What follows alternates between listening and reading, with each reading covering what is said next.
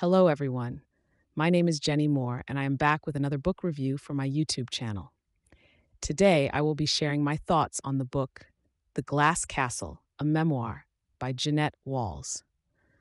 For those of you who are not familiar with the author, Jeannette Walls is an American writer and journalist. She is best known for her memoir, The Glass Castle, which was published in 2005 and has since become a New York Times bestseller. Now, let's dive into the book. The Glass Castle is a powerful and moving memoir that tells the story of Wall's unconventional and tumultuous childhood. She grew up in a family that was constantly on the move, living in poverty and facing numerous challenges. Despite all of this, Wall's parents were free spirited and taught their children to be resilient and self sufficient.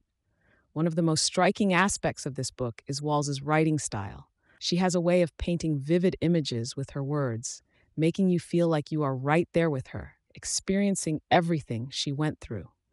Her honesty and vulnerability in sharing her story is truly admirable. The characters in this book are also incredibly well developed. Wall's parents, in particular, are complex and flawed individuals, but Walls portrays them with such depth and understanding that you can't help but feel a sense of empathy towards them.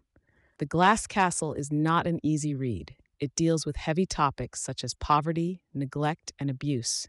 But at the same time, it is a story of resilience, love, and forgiveness. It is a reminder that our past does not define us and that we have the power to overcome any obstacle. I highly recommend this book to anyone who enjoys memoirs or is looking for a thought provoking and emotional read.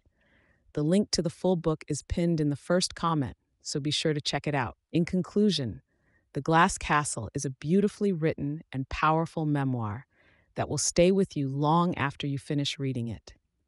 Thank you for watching, and I hope you will pick up this book and give it a read. As always, I am grateful for your support, and I encourage you to keep reading and exploring new books. See you in my next video.